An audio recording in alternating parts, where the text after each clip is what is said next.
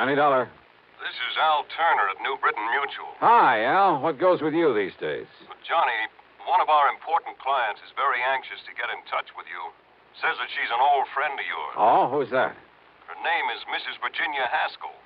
Virginia Haskell? That's right. Uh, sorry, Al, but I'm afraid I never heard of her. Before she got married, about a year ago, her name was Van Doren. Ginny Van Doren. Yes. Oh, well, now that's something else again. And I mean something. Well, then you do know her. One of the most delectable bits of feminine pulchritude I ever ran up against. Believe me, a young man's fancy didn't have to wait for spring to turn to thoughts of her. Now, what's that mean? Oh, Al, even I had serious ideas about that gal at one time. Oh? Yeah, right after college. Isn't every kid of that age intrigued by the idea of marrying into a fortune? And very beautiful. At least she was when I knew her. Still is, Johnny. So she's married to somebody by the name of Haskell, huh? Gordon Haskell. They live on Birch Brook Road, down in Bronxville, New York. Funny. What? Well, when I knew her, that blonde charmer didn't have eyes for anybody but Paul Snowden. Who's Paul Snowden? Childhood sweetheart, that sort of thing. Poor boy, making good on his own, you know the bit. Too proud to marry her because of her money. But she swore that she'd never marry anybody else, that he was her one true love. But I, uh, I guess she changed her mind. What did she want to see me about, Al? She didn't say. She did make it clear, however, that it has to do with some of the family insurance. Well, that's as good an excuse as any. Well, then, do you want to run on down there? For a longing look at the gorgeous Ginny Van Doren. But it'll cost you money, Al. Listen, Johnny, with the premiums we get for all the insurance she carries life, house, property, and so on the sky's the limit. Brother, have you stuck your neck out? Well, now, that doesn't mean you have Albert, to. I'll be in touch.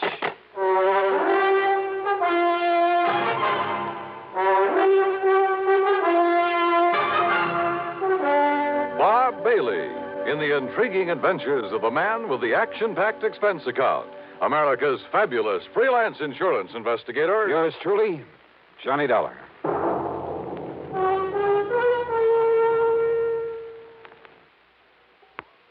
And now, Act One of yours truly, Johnny Dollar.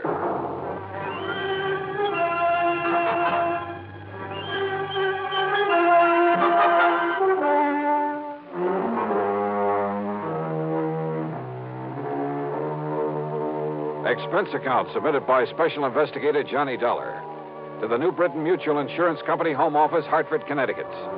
Following is an account of expenses incurred during my investigation of the wayward heiress matter.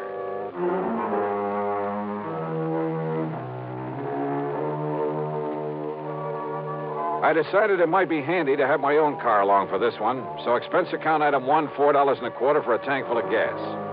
I picked up the freeway and headed south and west to fashionable Westchester County, New York. To me, Bronxville has always been one of New York's most charming suburbs. Only about 20 miles north of the big city, it's full of beautiful homes with lots of trees and expensive landscape properties. There's a lot of wealth in Bronxville. The Haskell home on Birchbrook Road was a huge English type affair, built of stone and stucco, the kind of place that'll last a hundred years. 18 or 20 rooms, I'd guess, and surrounded by well kept lawns and flower gardens, oak and sycamore trees, and neatly trimmed hedges. Yep, a big hunk of the Van Doren oil money must have gone into it, unless young Haskell was mighty rich. Virginia, looking every bit as beautiful as I'd remembered her from college back in the Midwest, greeted me like a long lost, well, brother, darn it. And Johnny, I'm so glad you could come. I. I'm worried, sick. Worried about what, Jenny? Gordon, my husband. Well, uh, look, it's uh, none of my business, but it, uh, well, it kind of surprised me to learn you'd married somebody other than Paul Snowden. It's Paul who has me worried, Johnny. Oh? Yes. How? Well, back in the old days in college, I wasn't interested in anybody in the world but Paul. I mean, seriously. Yeah, I remember. The rest of us couldn't get to first base with you. I loved him, Johnny. And I hoped that as soon as he could get established in a business of some kind, he'd ask me to marry him. Well, what stopped him, Jenny? Money. When Father died and all the Van Doren money came to me, Paul suddenly changed. He stopped seeing me. He even avoided me. So then, well, I guess what I did was make a mistake. What was that?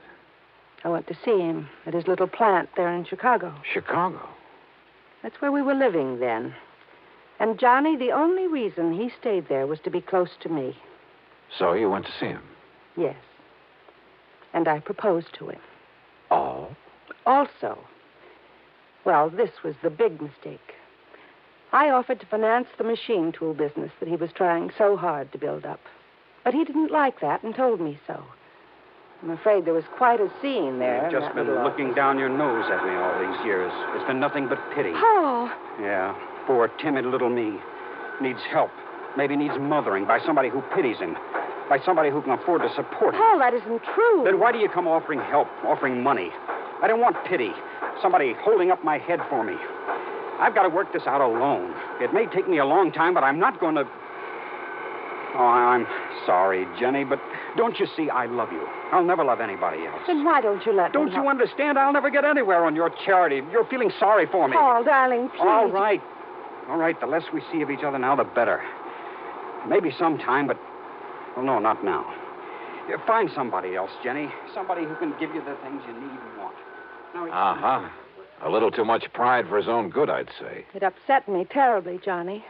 Especially when he told me to go out and find somebody else. But uh, I take it you did. Then Gordon came along. Sort of caught me on the rebound, I guess.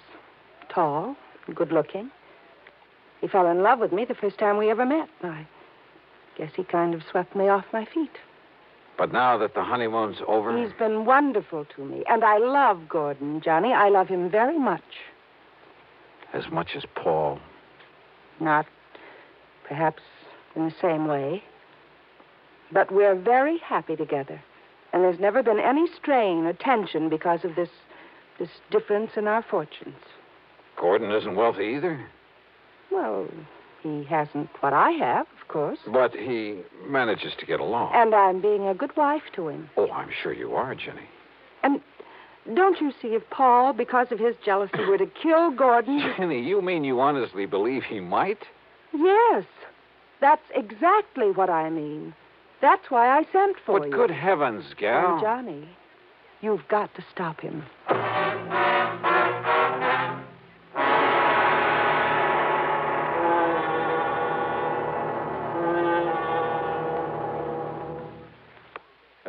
Act Two of yours truly, Johnny Dollar and the Wayward Heiress Matter.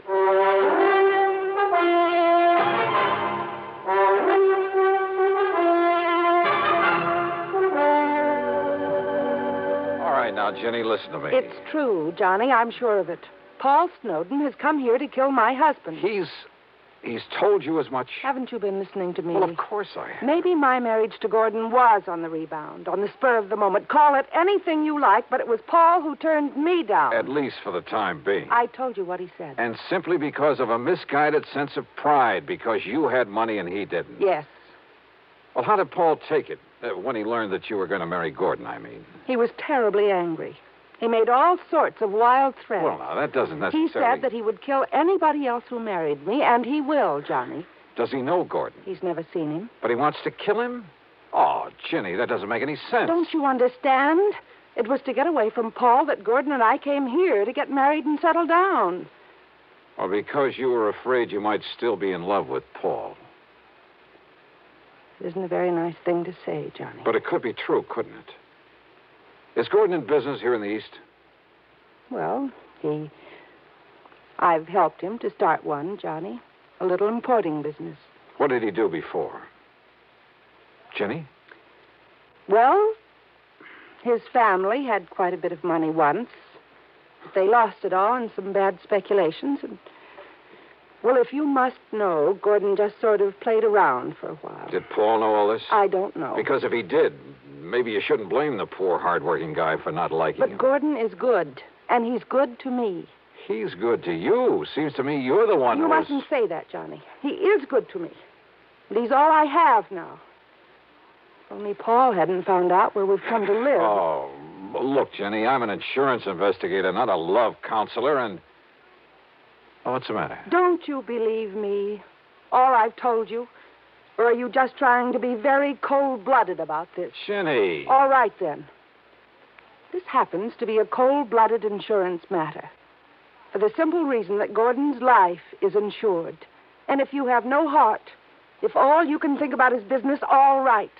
It's your job to keep Paul from killing Gordon. Now, listen, Ginny, you've been married nearly a year. Nothing's happened, nothing at all. Yet now, all of a sudden. Because Paul has come here. He telephoned me.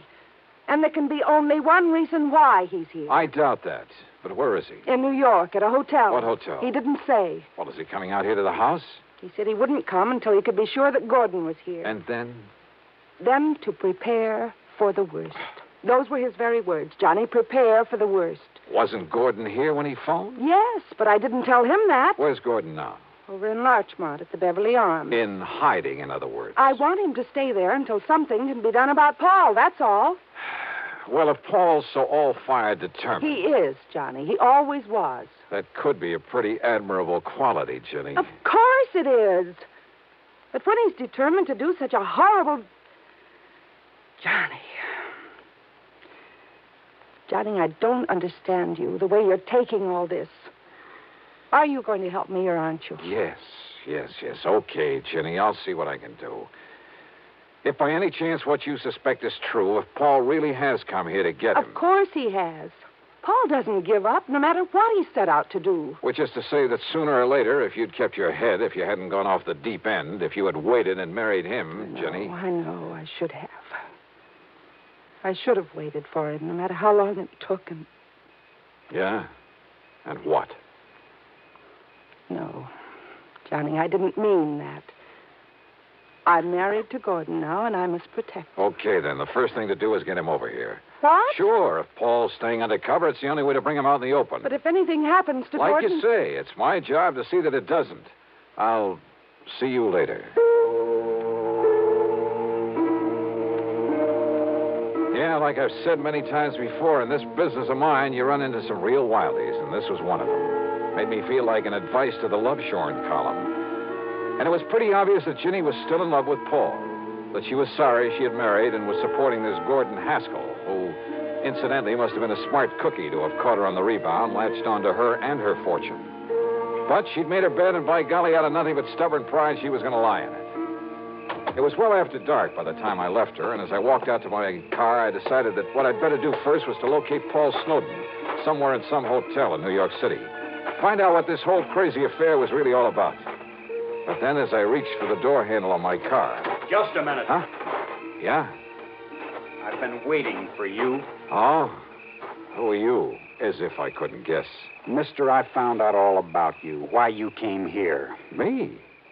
Oh, well, now if just you don't minute. believe me, take a look at these photostats from the police files in half a dozen western states. Well, now, just just take it easy. Let me put on the dash light so I can take a look at him. You'll have plenty of time to look at them when I'm through with you.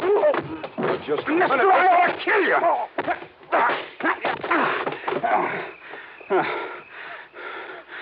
All right, now. You want some more? Johnny, what on earth's going on out there? Huh? Johnny, What? Johnny.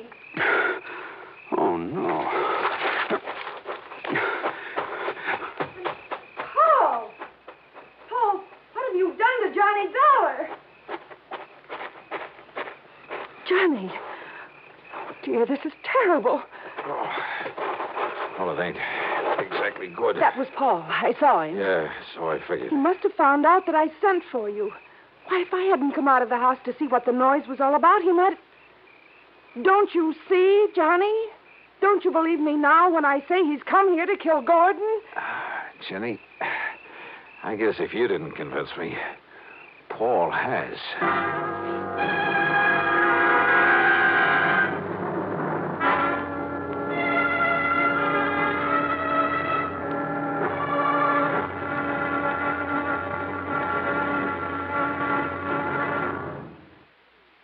Now, Act Three of yours truly, Johnny Dollar.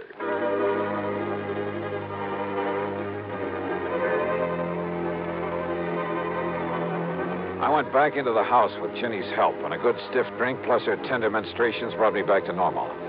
I suppose I could make all sorts of excuses about having been caught off guard, but I won't. Paul Snowden had a good pair of fists, and he knew how to use them. My plan had been to call on the New York City police for help in locating Paul, but now this had suddenly become a personal matter. And yet, wait a minute.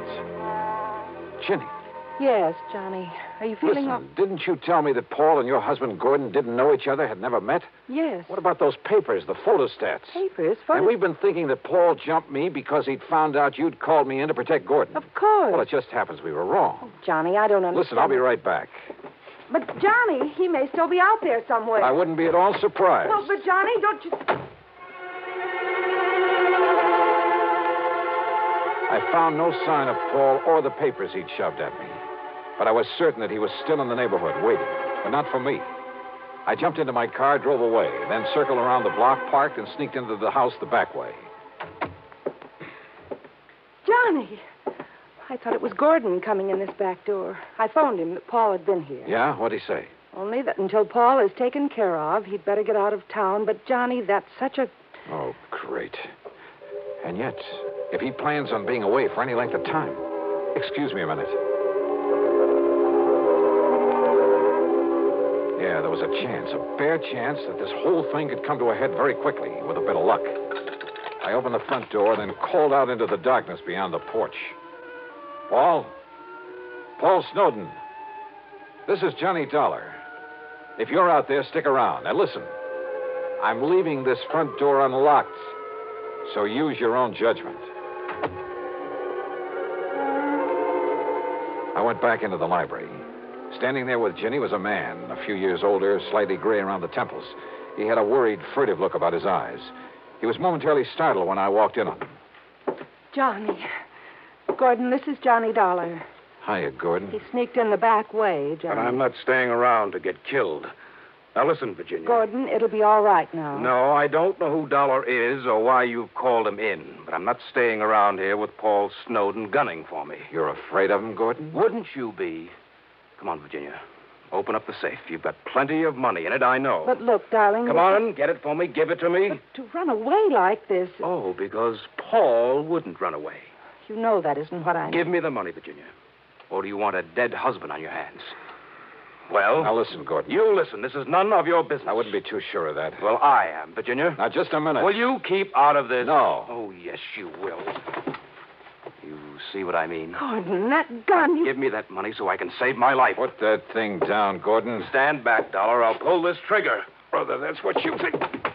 Yes? Oh, I'll kill you.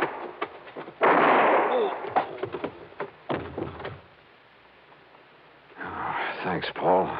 Oh. Oh. I aimed low, Dollar. I'm afraid he'll live. Yeah, he'll be okay. Should have killed him, I guess. But I'd rather see him face the courts. Oh, what are you talking about? Those photostats you have? Yeah. Police files all over the West. He has a record as long as your arm, under various names. Wealthy women. Married them, took their money. Oh, no. Yes, Jenny.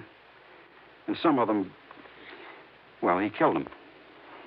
Paul, I didn't know. I, uh, I didn't know. I'm sorry, Dollar, about what happened outside earlier, but in the darkness, I thought you were Gordon. It's, uh, okay, Paul. You've, uh, more than made up for it.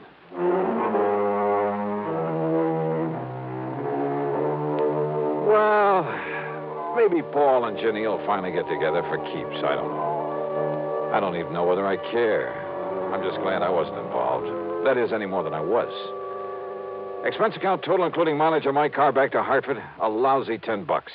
Yours truly, Johnny Dollar.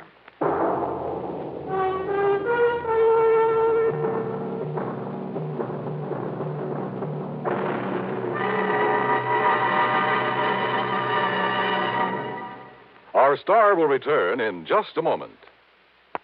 Now, here's our star to tell you about next week's story. Next week, a sweet little old lady involved in one of the dirtiest rackets I know. Join us, won't you? Yours truly, Johnny Dollar.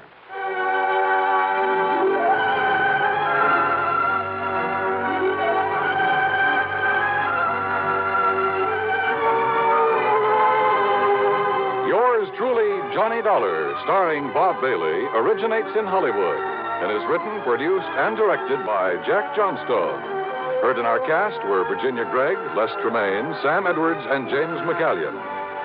Be sure to join us next week, same time and station, for another exciting story of yours truly, Johnny Dollar.